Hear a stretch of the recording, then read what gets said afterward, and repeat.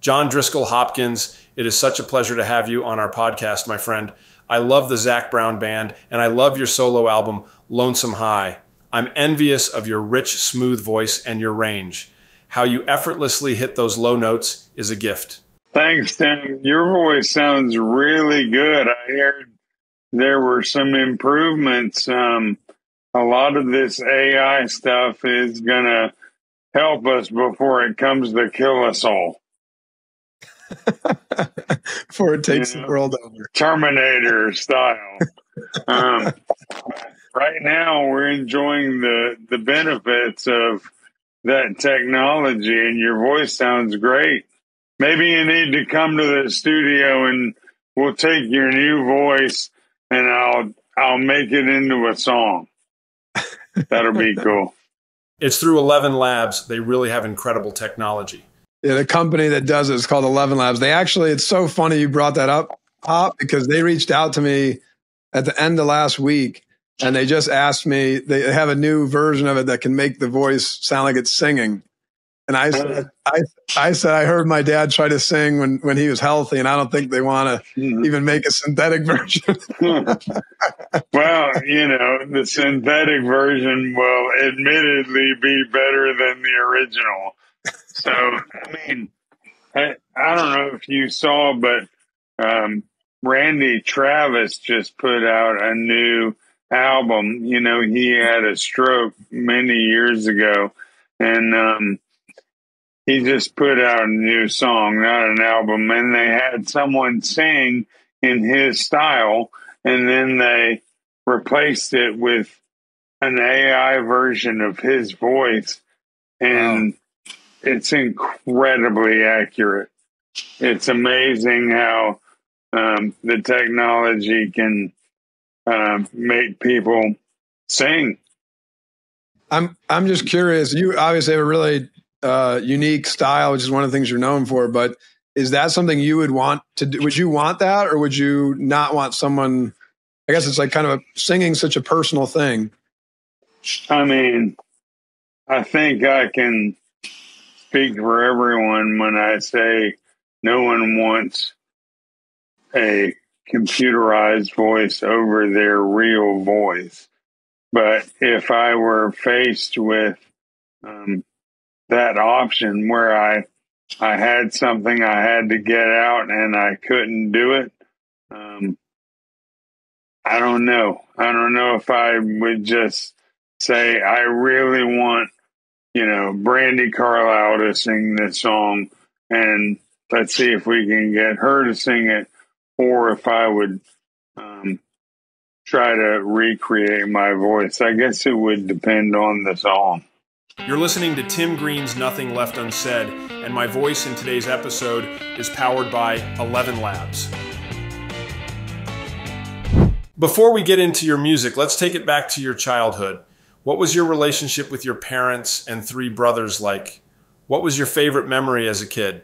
My parents are incredible. They are um, in good health, 82 and 77, living in Gainesville, Georgia, where I grew up.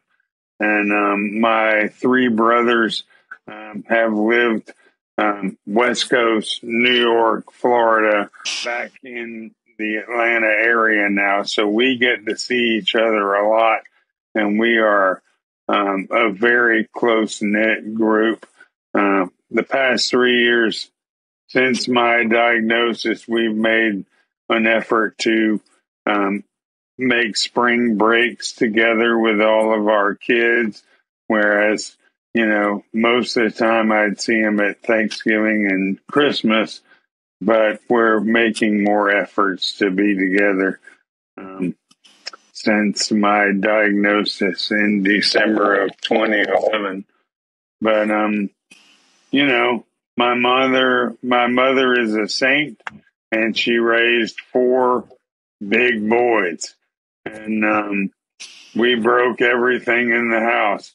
Um, but um, we're all Eagle Scouts and um, we all do know how to mind our manners, whether we choose to mind them or not. Um, so I I think um, my parents have done an incredible job of teaching us um, right from wrong and uh, good work ethics and um, to to live honorably. Um, the second part of that question was what was my favorite memory? I I think my favorite memories are always the holidays. You know, um, when I when I write or create, I haven't written any Christmas songs, but when I make these um, holiday records, I'm doing it so that I can relive all of those times when Santa visited our house and my brothers and I used to get so excited. And now I'm excited when he comes to see my kids. And um, I think that's probably the biggest thing. And and we still on Christmas Day we we uh, gather at my parents' house and we all get together and and and uh, have a uh, um, dinner and open gifts, and we just enjoy being together. How about high school? Were you into theater then? Who got you into singing? The football coach must have been drooling to try to get someone your size to play. you know, I played football in ninth grade, and it was only because the football coach saw me on the field and said, "You need to come out and and uh, try out for the team." And I was a swimmer all my life, and you know, whenever I get the opportunity, I'll still put in a thousand yards in the pool. But um, I really enjoyed playing football. But starting in ninth grade, I I didn't know how to hit anyone. Um, I didn't know what the what the two hole was. I mean, it was like, you know, damn it, Hopkins hit the two hole. I'm like, ah, you know.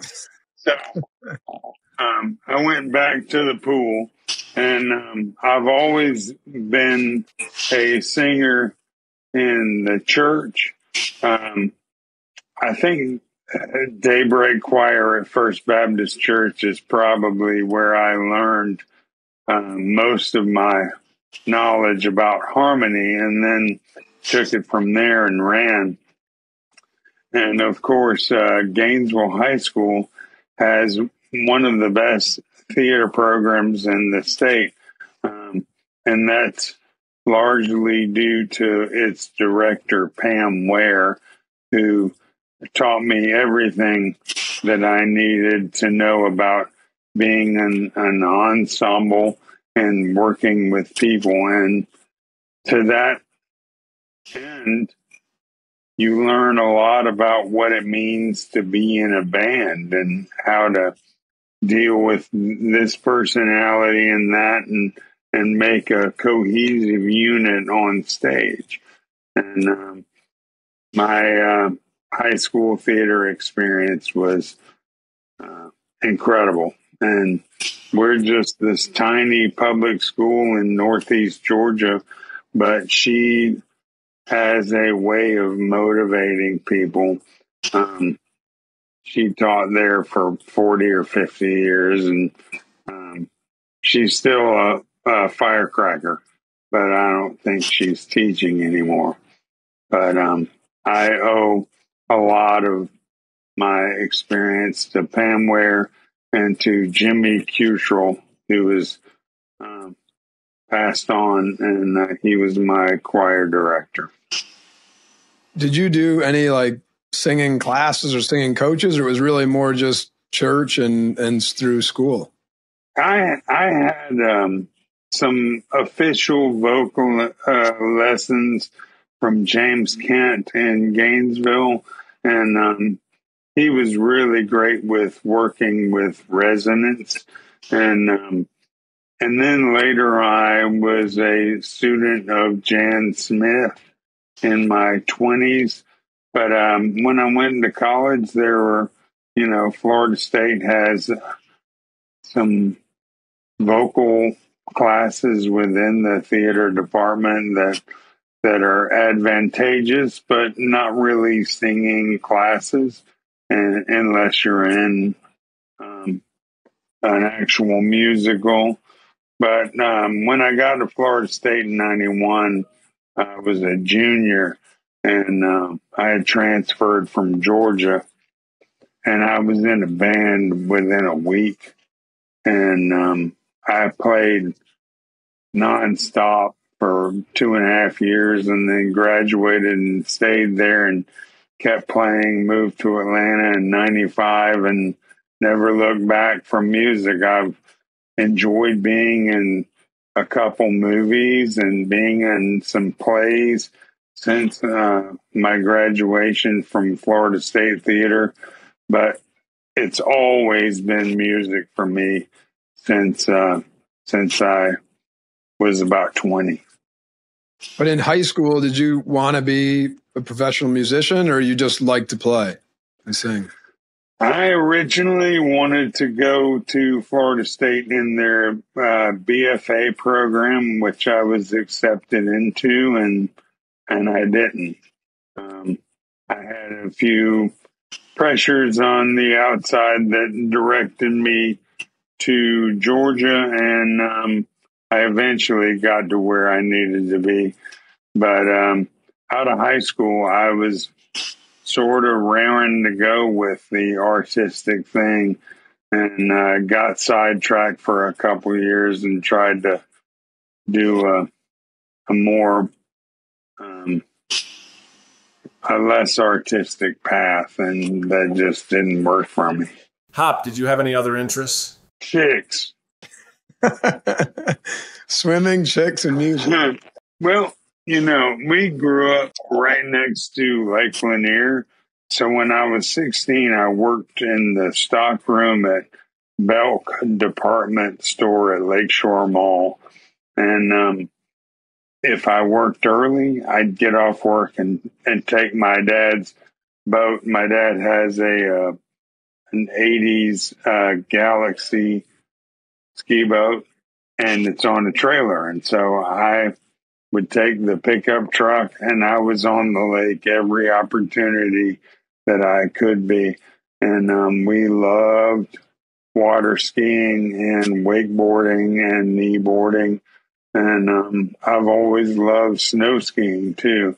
Um, I think those hobbies um, were really important to me when I was younger. I I wish I could still do that stuff, but um, I would be a yard sale on a snow slope right now.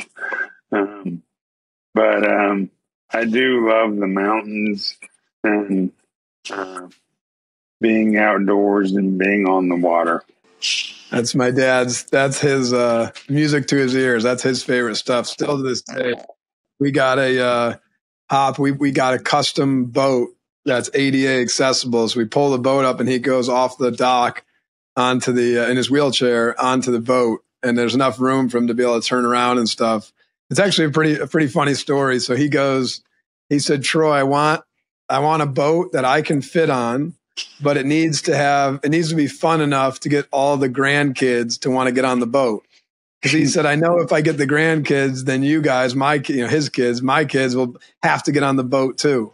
Right. And so it's a it's a pontoon boat. It's an aircraft carrier. Yeah. yeah basically, it has a second story with two slides and a high jump. Oh, wow.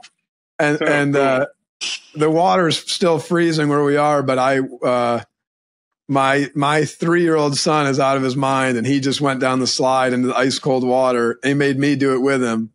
We just did that uh, this past weekend. So, anyways, yeah. My dad we talked about um, trying to retire one day on a um, a gradual slope uh, up onto um, Lake Blue Ridge. It's one of our favorite lakes, and um, we also love Lake Oconee out in East Georgia. But um, you know, build a ranch where if I needed assistance getting around, I could still get around and um, and maybe get down to the water, and you know, that would be a uh, a best case scenario for our retirement. But my kids are just my twins are just finishing sixth grade tomorrow, so um, you know, I got a couple years in this school district before we uh, cut and run. But um, uh, it, we live in a great neighborhood, and I've just always thought that um, that uh, the lake living would be the way for me. After high school, you first went to Florida State. What attracted you to FSU? Chicks. no, um, their theater program, um, their musical theater program at the time that I went there was top five in the nation, and um, they have always had an incredible music department and theater department, and uh, you know, lots of colleges have um, 100 majors, 50 theater majors. Their programs are really small. Um, when I was at Florida State, it had 450, 500 majors. The com- the competition was um, stiff, and um, and that's closer to reality. You know, I I was in um, three plays down in Tallahassee, one in a community theater, one in the lab, and one on main stage, and um, just being surrounded with that much dedicated talent really made an impression on me. Um, but that's the that was the um, main reason I went is because their theater school is uh, so excellent, and I was determined to to get a good arts education and um, and then go be an artist. What was your favorite role you had in your theater career? I think my favorite role was as a senior in high school. We did a show that was um, statewide. So we had, held auditions from um, all the uh, theater programs across the state of Georgia to come audition for this um, play, and it and it was called The Fantasticks, and I played El Gallo. Um, it was a lead role for me, and the music is incredible. Um, I got to work with a guest director named Bob Johnson, and um, just being able to stretch out into a different cast with people that I hadn't grown up with really made me feel like um, I could do this in other places. You know, um, you you get really comfortable when your hometown, uh, you know, tells you how great you are, and you're like, well, you know, that's mom and her friends. They're all telling me I'm good at this. And then um, you go out into um, uncharted waters and people say, You're really good at this. And you're like, Okay, well, maybe I am. It's not just my mom. Um, but it gave me confidence to to get out there and and perform in front of uh, other people and with other people. In college, you were the front man for a band called the Woodpeckers. What's the story behind that, and were you guys any good? Six. um, we couldn't come up with a better name than Woodpeckers, and we were 20. So, uh, you know, that name stuck. And um, we had a a picture of a. It was actually a road runner behind us. We we probably could have gotten sued. I figure I feel like this um, logo belonged to someone else, but he had a drink and he and a cigar, and he was like, you know, um, just this hell raising, um, live fast bird, and um, and we covered like classic '80s stuff like REM, but we also were into the new like it was the early 90s and we were covering pearl jam and nirvana um, rage against the machine. We were more of a, a songwriter band with an aggressive edge um, and um, we put out an album under the name distant relatives and um, then we broke up you know, uh, college bands are often like that. You you get faced with, is this really what I want to do with my life? And it's a tough road. And then some guys say, uh, no, it's not. And um, and I went on to do music, and uh, the rest of them are hobbyists. And um, and they're all still very talented, but we all make choices, you know. Do you still stay in touch with them? Yeah. Yeah. Um, you know, you don't really lose me um, once you get me. Um, I I pick up with lots of people where I left off 20 years ago. And um, that's the case with all these guys. You know, they they were my absolute best friends in the world, and um, and you don't lose that. So, um, you know that that band really taught me how to organize travel with uh, equipment, and we had a trailer, and we were driving to Alabama and South Georgia and and uh, the surrounding area near Tallahassee, and uh, and it made me understand what it was like to be in a an independent touring band. Uh, we played almost every bar in Tallahassee from 91 to 94.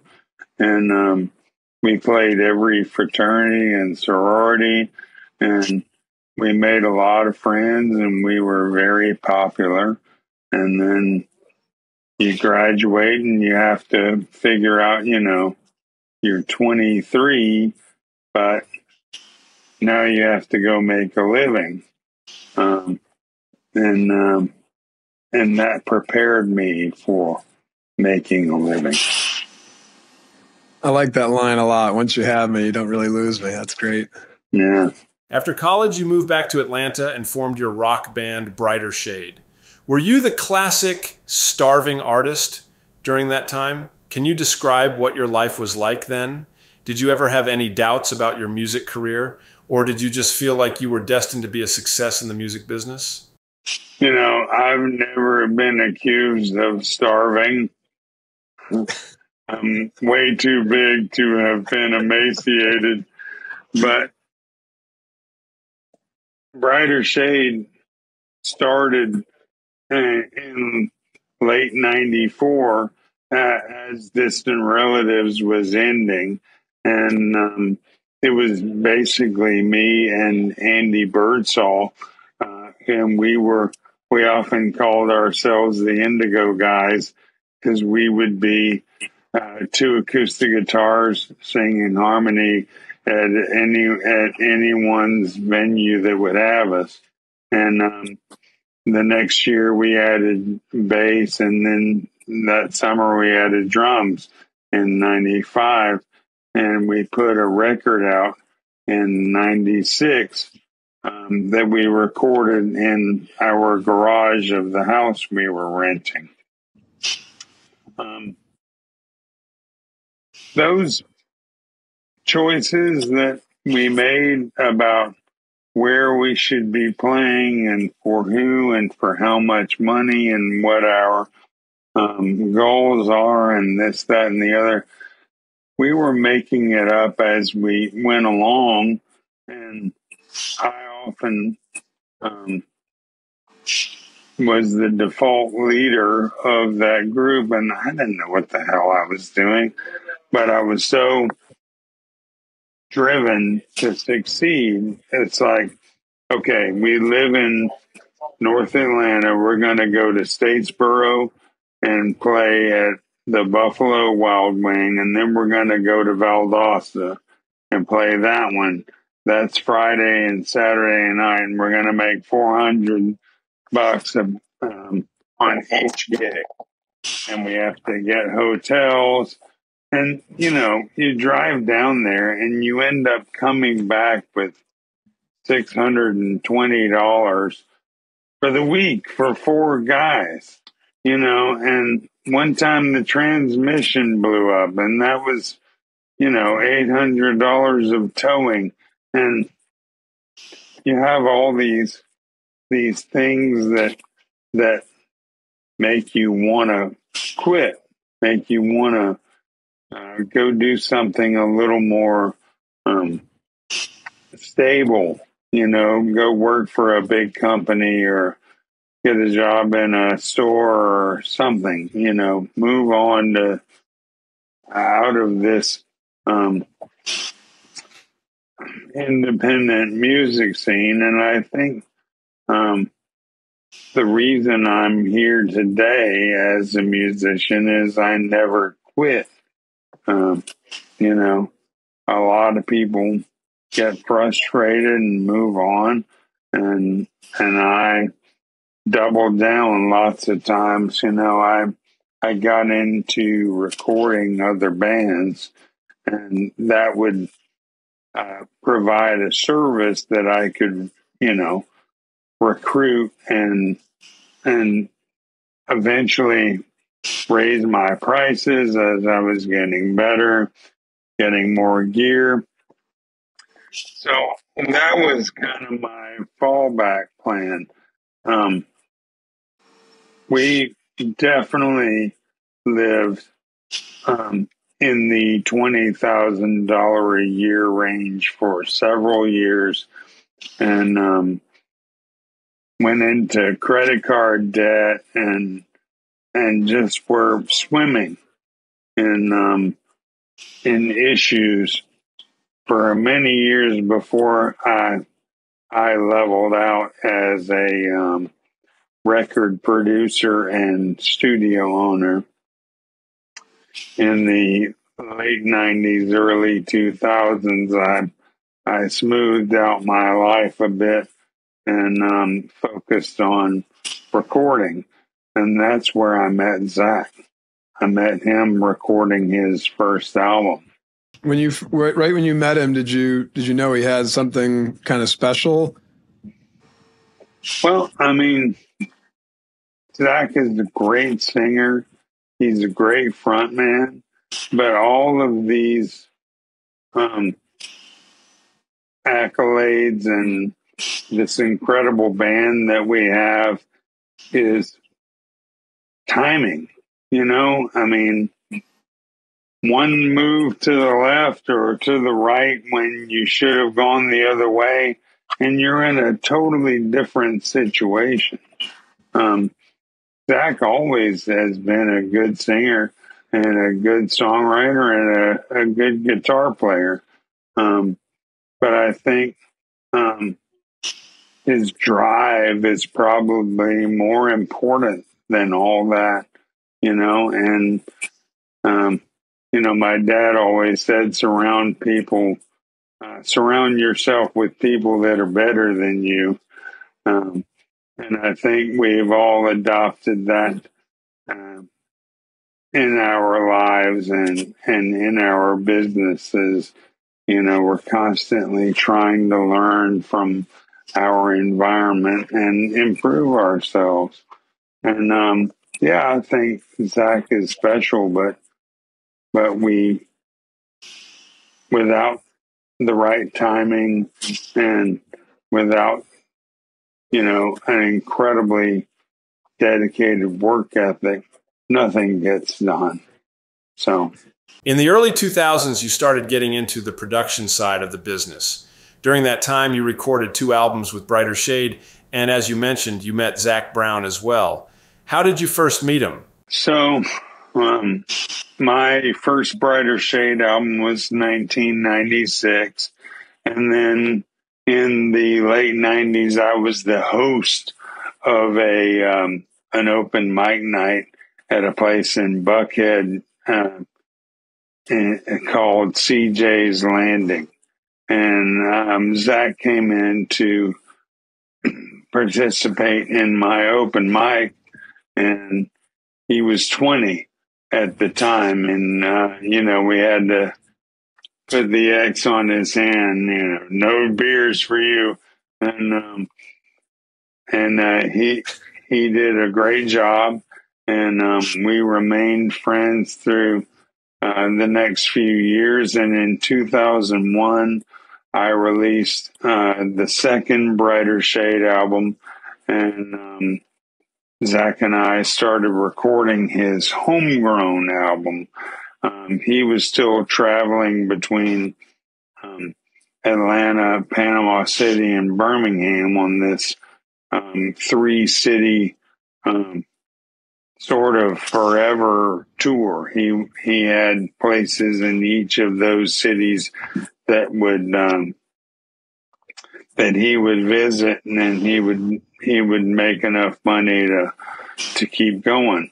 Um, and so the album took several years to complete, and and he started selling it in the bars around 20, 2004, like beginning of end of 2003, beginning of 2004, and and um, 2005 he came in to the studio again and started working on toes. And i guess he was planning to make another album. And um, and i helped him finish that song. And before he left he said you know i'm looking for a bass player if you hear of anyone. And i said well i'm playing a lot of bass these days. And um, i'll come sit in with you until you find someone and uh, I never left. 2000. What year was that? 2005? February 23rd um, was my inaugural Dixie Tavern gig with Zac. When you and Zac first became friends, what did you bond over? Was it just music or anything else? Chicks. Um, music first and foremost. Um, you know, we we share a lot of the same favorites like James Taylor and Eagles, Indigo Girls, and um, I think I probably showed Zac uh, Ani DiFranco, and he showed me Darrell Scott. You know, we we have um, always been very similarly wired in terms of our musical tastes and um, mine have sort of branched off into metal, and his have sort of branched off into pop. Um, but but we started with these acoustic guitar harmony singers, and um, and that's sort of always where my heart will be, and I believe uh, where his will always be as well. It sounds like too you you finally met somebody who matched your work. Oh yeah, based on how you're describing oh, yeah. him, right? It sounds like you, you know he would he would find ways to get more studio time, even when he was broke. He he showed up with a PS2 and a crate full of games and um, a mini fridge one time. He's like, "Can I trade you this for some studio time?" I was like, "Sure, man." I need a mini fridge in here, and um, the PS2 would be great. You know, people waiting for their time to record, they're just sitting over there going for it. So he was always very creative in his ability to get things done. Um, but yes, uh, an incredible work ethic. And um, in many ways, um, I've always been sort of a big brother to Zac. And even now, when he is so specifically the boss, um, I feel like a big brother to him still. You know, um, some of those vibes and and uh, nuances of our relationship will never change. You joined Zac in 2005, but it was three years before the band's debut single went to number one on the top 40 charts. How excited were you when you got that news? It was crazy, man. I mean, we got radio in 2007, 8, something like that. Chicken Fried sat on the charts for 40 weeks or something like that. I mean, almost a year. It was just slowly burning up the radio waves. And by the time it got number one, people knew it so well already and they had heard it so much. I mean, that's kind of what you hope for is a slow, you know, top 40. You start at 40, you go to 39. I mean, if you can get that and you're on, you have a song on top 40 radio for a year and don't fall off, it was incredible. By the time we were number one, I, I think we were at John Rich's bar on Broadway in Nashville, which is really weird because we're we had started spending more time there, but we never lived there. And um and we were we hit number one. I remember looking at Jimmy and and we had drinks in our hand and we, it was Friday night or something and we're like, Where's the fireworks? You know, uh, what's supposed to happen next? And um and it was sort of a moment where, well, we're number one and no one is calling us. you know, obviously, big things happened after that, but it was um, sort of poetic that we were in a rock stars bar in the biggest music town in the world and standing there and the clock turned over and we're number one and we're like cheers. You know there wasn't this big fanfare. What did you what what was the biggest like all of a sudden you hit number one like you said in that exact moment there's no fireworks or anything like that but did your guys lives change from hitting number one versus just being in the top 40 or once you're in the top 40 was there all of a sudden your popularity grew and, yeah, my daughter was you know what i mean? um, november 4th 2008 and we were on a long stretch of radio um, performances promoting chicken fried. And i remember i went home 10 days before so uh, late october and I came back 10 days after, mid November. Um, and when I left, we didn't have security. And when I got back, we had security. We had like two bodyguards walking us to the stage. I'm like, what happened? You know, um, and it went number one shortly after that. And um, it's incredible how quickly we rose from bar band to um, venue headliner. And um, a lot of that, you know, was uh, being best new artist at the Grammy.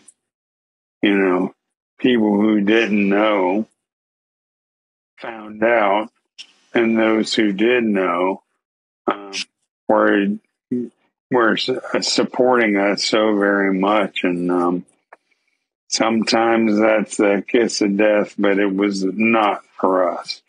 It was a, a catapult.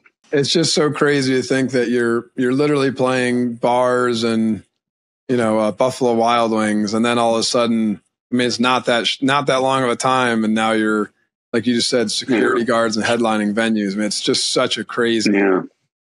It was such a short. You know, my drummer in my band, Mike Rizzi, um, always tells the story. He was living in L.A. He had uh, moved from uh, Atlanta to Los Angeles at the time that we were awarded Best New Artist, and I hadn't seen him in a, a year or two. And he's watching the Grammys, and they say Zac Brown Band and he's like, I know that guy. I know Zac Brown. I met him in Atlanta. And we go up on stage and he's like, that's Hop.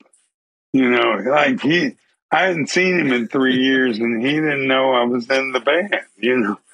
Um, it's that fast. It's that kind of rocket ship, you know. And um,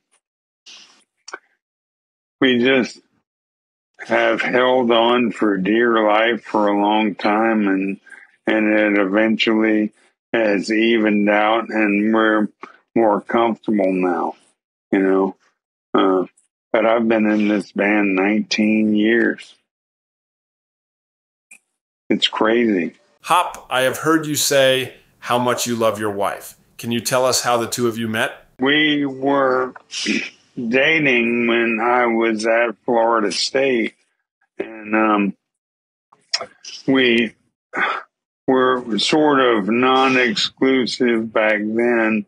And in the early '90s, we tried to to really be together and um, and be a, a couple. And I had moved to Atlanta and she was uh, graduating Florida State, and she had designs on Florida, and um, she moved to Fort Lauderdale. So we were doomed to connect then.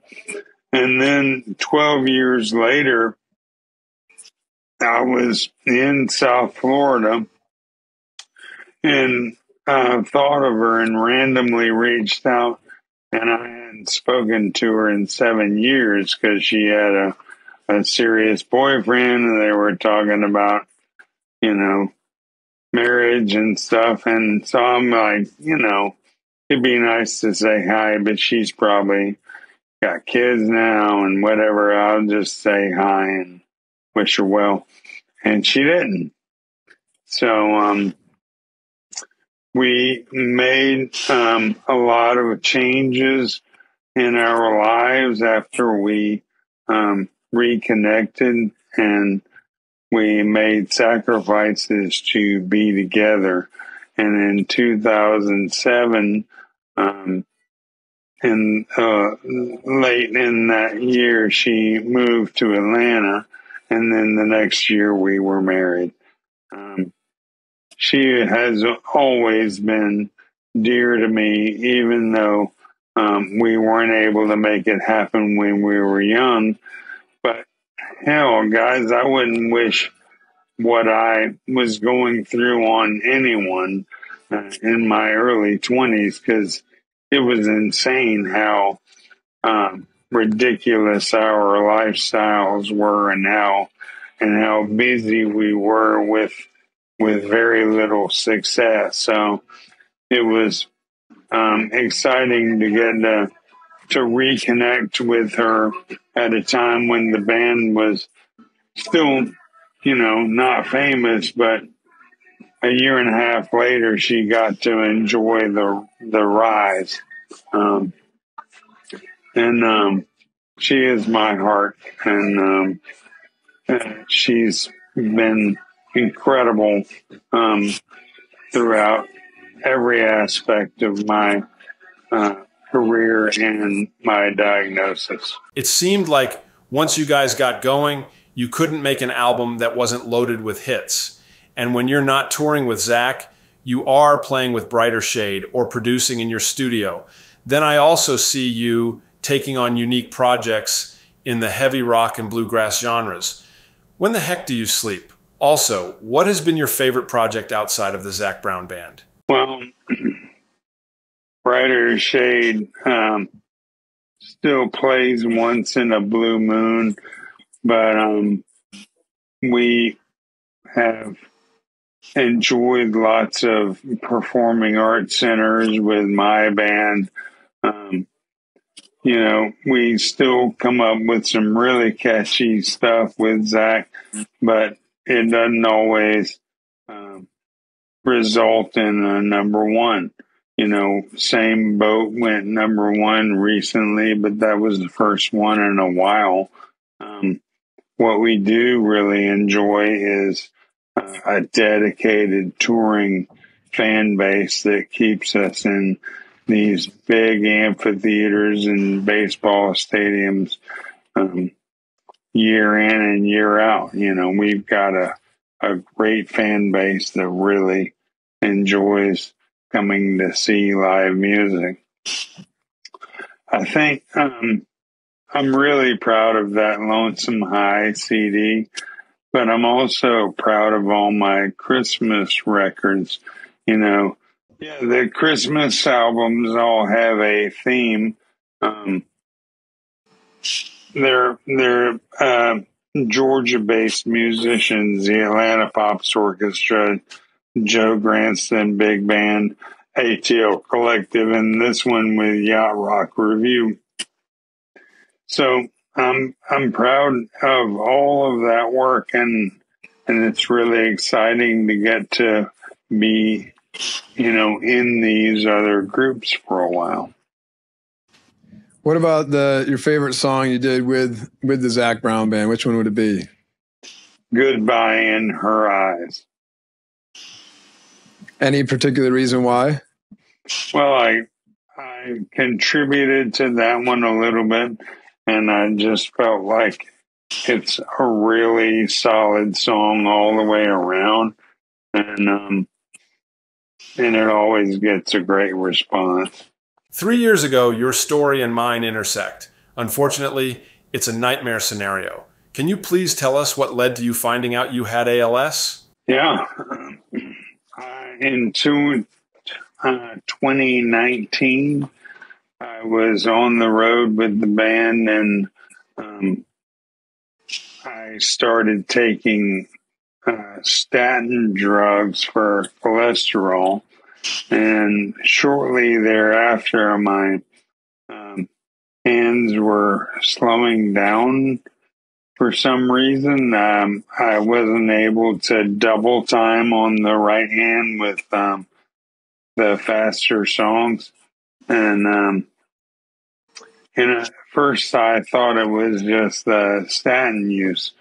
And um, in the spring of 2020, I sat down with everyone on the bus and I said, something is wrong with me. I keep falling down. I'm, I'm rushing to get somewhere and I'm tripping and my hands are not responding. I, I feel like I can't run. Um, and then the next week, COVID hit and we were out of commission for 18 months. When we came back in uh, 2021 in the fall, um, it was worse. Um, my walking had been more affected and my playing. Um, and it was then that we started seeing neurologists and it was the third neurologist that we saw that uh, diagnosed me with ALS. The first two missed it. And, um, uh, you know, that I, I was largely unfamiliar with the details of the disease. I just knew it was really bad and um, of course, I'm an expert now. Um, but to be sitting here, um, to have driven here and be driving home two and a half years later is a incredible an incredible blessing. And and I recognize that my progression is uh, very slow and I'm very grateful for that. But um it's not a club that any of us want to be in and um and I have tried to figure out if there was something I did to trigger it, or if the statins did, or, you know, what is going on with our world? Why are there so many Alzheimer's patients? Why are there so many more ALS cases? Um, why are they going to increase by 40% in the next 10 years? We're doing something to ourselves that uh, is ruining our health. Um, you know, unfortunately, we can't all at least point to head trauma. Um, we we can't all point to toxic environmental uh, conditions like the military or airline pilots. Um, there's a lot of us out there that are just like, is it my biome? You know, is it my gut? Um, so the mystery continues. And um, um, I'm just grateful to to still be active, even though I'm not nearly as active as I should be. When you first got diagnosed, were you in denial about it, or were you kind of relieved that you had maybe you had finally an answer? There was never any relief. Um, we spent months um, trying to wrap our heads around it. You know, lots of tearful days and nights. It was three days before Christmas. You know, um, it was um, a really difficult time, but we jumped in feet first and went to um, the Gleason Gala in March. And that was inspiring. And we met a lot of people and learned about this community that uh, is so dedicated to to correcting this uh, unfortunate motor neuron damage that we're all suffering from. And um, I have slowly come to grips with it, but here I am walking, talking, breathing, chewing, and and I have no concept of what Tim goes through every single day. And, um, you know, Tim, you and Steve and these guys who um, persevere and live such vibrant lives in chairs are an incredible inspiration to me. And, and I, I just admire your courage and your dedication to your families and to providing this community with insight and knowledge. Um, you know, I'm going um, to DC next week with Brian and Sandra Wallach, and um, and we're gonna meet with the I AM ALS crew and talk to politicians and and powers that be. And you know this this quest that hop on a cure is on to find a cure um, has to be met with um, perseverance and and pleading with people like the government who control so much of the poison that we ingest. Um, and we're, we're going to make a difference uh, step by step, day by day. I know this is an extremely personal question, but I ask it without judgment or preconceptions. I have heard you say that one has to stay positive when fighting this disease, and I think that is spot on. However, you are in the early stages, and I pray they find a cure before you get to my stage, and I think they are close. But if you get to my point, you have to have a greater perspective that includes both life and death. What I want to share with you is my faith in Jesus Christ. I want to share a story with you. A guy who has ALS contacted me four years ago, Tom Walpole. He said he was ready to give up, but then he saw me on TV saying that I wasn't going to quit. So Tom decided he was not going to quit either.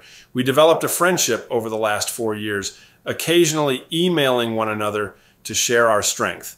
Well, a little while ago, his brother John emailed me that Tom was in the hospital and the doctor said he only had a few days left. I had never spoken to him about his faith, but I offered to have my pastor stop by and told him that it was not too late to accept Jesus into his life. And his brother emailed me back that Tom and their entire family are devout Christians.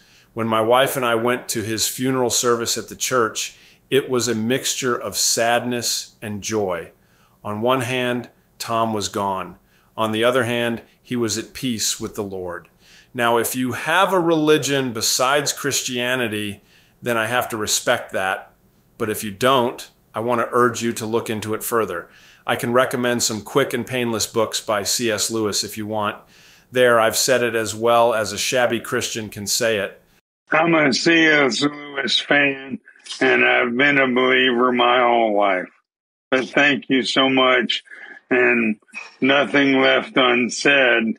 Um, really speaks to what you just said. You know, um, sharing your walk and your faith uh, is uh, very important. So thank you for that, Tim. I was a young life leader when I got to Georgia, and um, a lot of the guitar playing that I learned was leading young life clubs with songs and um, and in little bands. And um, one of my biggest spiritual influences, aside from Jimmy Cuttrell and the choir, was uh, my young life leader, Skip Ecky. And um, he's still a volunteer in, in, uh, in my hometown of Gainesville. And um, uh, uh, it's always been very important to me to have a relationship. I am so happy right now. Thank you for sharing that with us. Thank you, Tim. Hop, let's end the podcast with you talking about your magnum opus, your greatest work. But it's not your music, it's your daughters. Please tell us what makes each one special. My girls are unique. Um, they are a product of their incredible mother and um, of my uh, gruff protective instincts. And um, Grace is a uh, an athlete with a, a very um, dedicated interest in volleyball. Faith is a theater kid with an incredible singing voice and Hope is a design minded, very meticulous, um, hardworking person who um, is very creative. They're all very creative in their own uh, special ways, and they're good people and they're good girls, and I'm very proud of them. Um, I wrote a I wrote a song the the night of my diagnosis. I started it. We we um, I got diagnosed and we were planning to go to Callaway Gardens to see the fantasy and lights. And so Jen's instinct was let's not go. And I'm like, oh, I mean, we have the room, we've bought the tickets, let's just go and not, you know, not disrupt our holiday. And that night I couldn't sleep. And I started thinking about what um, I could possibly say to them if I were in a position where I couldn't speak. And I started jotting down the uh, the uh, these ideas, and uh, the chorus is "I love you forever," you know, and that's all that matters, you know. Everything goes wrong, everything goes right, uh, sideways, up and down, all through it all. I love you forever, even if even if this thing kills me and I'm not here, my love for you is forever. And, you know, um, I'm, I'm looking for the right way to put that song out into the world. But, um, it was a moment where I had a, a chance to really speak my mind. And that's the, one of the beauties of music is, um, even if someone is unable to communicate the songs that that I've uh, written and performed will always be there for them, and um, and I I take comfort in that.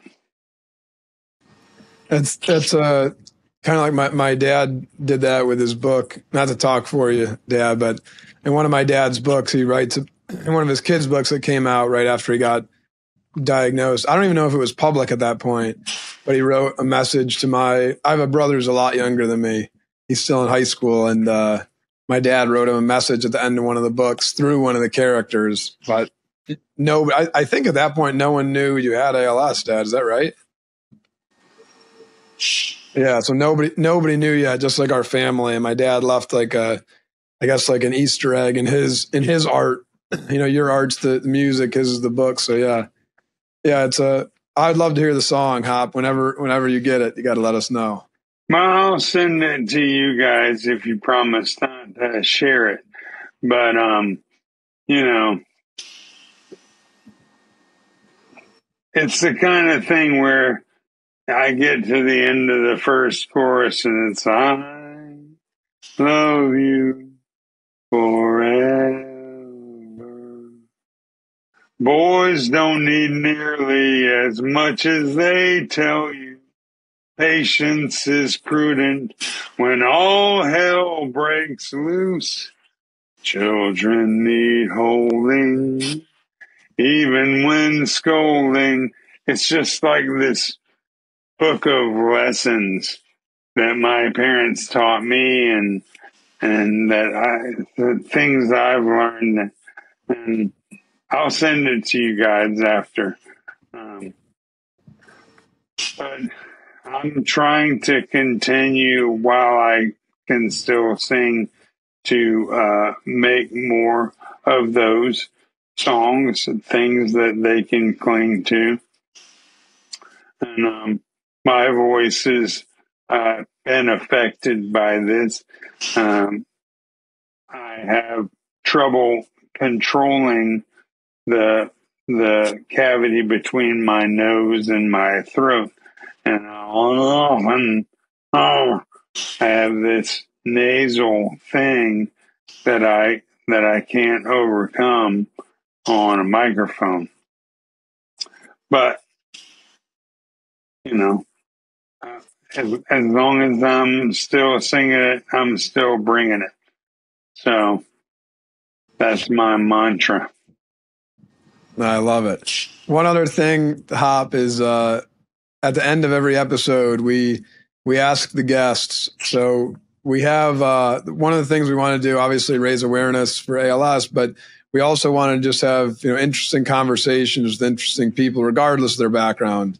Um, I want we were we were cautious about when my dad started a podcast. We didn't want it to be just an ALS podcast or just a authors podcast or just a football podcast. So we say to everybody at the end of the episode, um, you know, who are who are some people that you know that you think we should have try to get on to tell their story and you know people who have interesting stories or you know whatever, just any background.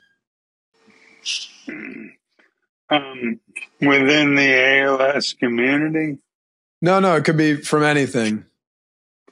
Uh, you know, one of the best um, songwriters in the world is Darrell Scott, D A R R E L L, and um, he would be an incredible guest for um, any questions about uh, songwriting if you get into his career um, and his music you'll you will definitely be a fan um, start with a tune called the man who could have played bass for Sha Na Na. I'm writing it down. John Driskell Hopkins, I want to wish you and your family continued blessings, and I want to thank you for coming on our podcast which is dedicated towards raising money and awareness for ALS, much like your own efforts with Hop on a Cure. I wish we met under different circumstances, but I am happy to have you in my life. Thanks so much, Tim, for having me. You're an inspiration, and all of these questions were incredibly entertaining, and I'm really honored that you asked me. Awesome. Thanks so much, Hop. First of all, this is my voice. I'm Tim Green, and I have ALS. This podcast is not about ALS or living with disabilities. I don't want you to feel sorry for me.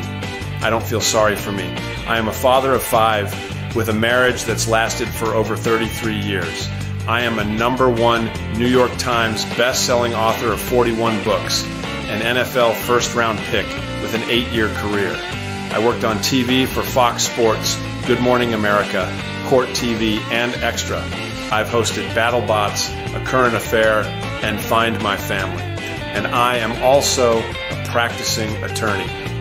In this podcast, we're diving into real life stories. From triumphs to trials, we'll explore the extraordinary in the ordinary. Join me, Tim Green, and my son Troy each week for real conversations, laughter, and insights. Because life is a journey, and everyone's got a story. Barclay Damon LLP is proud to be the law firm sponsor of Tim Green's podcast, Nothing Left Unsaid.